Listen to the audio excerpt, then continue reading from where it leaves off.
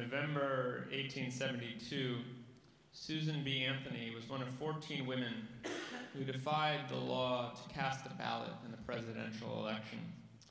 Anthony was arrested for, quote, knowingly voting without having a lawful right to vote. And on June 18, 1873, was found guilty. The next day, when her lawyer appealed the verdict, she addressed the court in response to a question from the judge, Ward Hunt. Has the prisoner anything to say why sentence shall not be pronounced? Yes, Your Honor.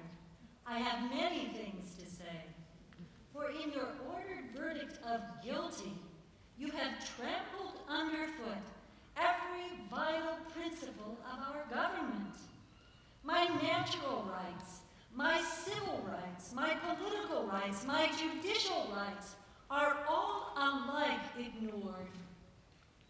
Robbed of the fundamental privilege of citizenship, I am degraded from the status of a citizen to that of a subject. And not only myself individually, but all of my sex are, by your honor's verdict, doomed to political subjection under this so-called Republican form of government. The court cannot listen to a rehearsal of arguments which the prisoner's counsel has already consumed three hours in presenting.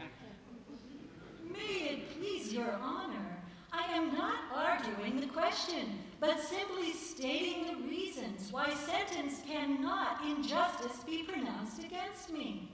Your denial of my citizens' right to vote is the denial of my right of consent as one of the governed, the denial of my right of representation as one of the taxed, the denial of my right to a trial by a jury of my peers as an offender against law. Therefore, the denial of my sacred right to life, liberty, property, and... The court cannot allow the prisoner to go on.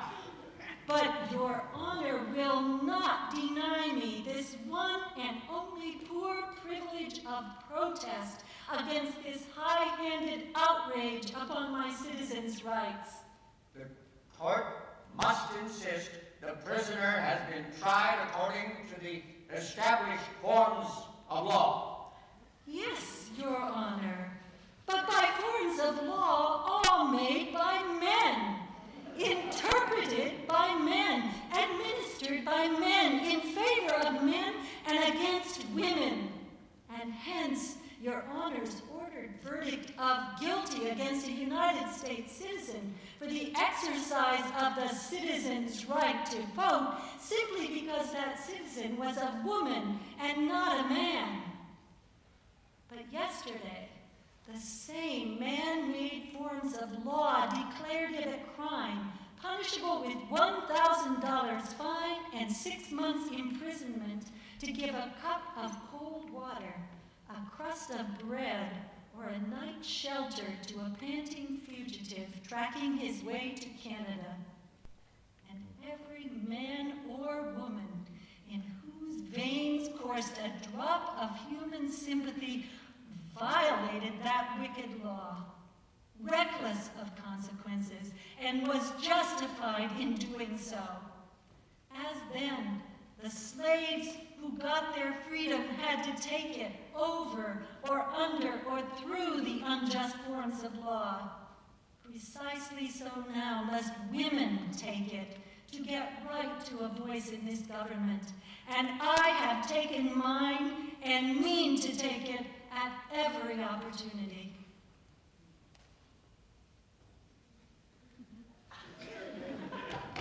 Court must insist. Sentence of the court is that you pay a fine of $100 and the costs of the prosecution. May it please your honor I will never pay a dollar of your unjust penalty.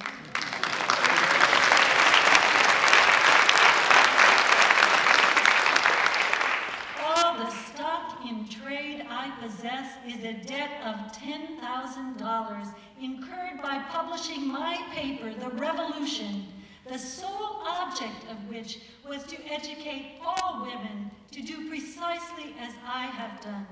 Rebel against your man-made, unjust, unconstitutional forms of law which tax, fine, imprison, and hang women while denying them the right of representation in the government.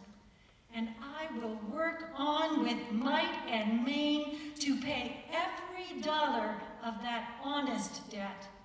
But not a penny shall go to this unjust claim.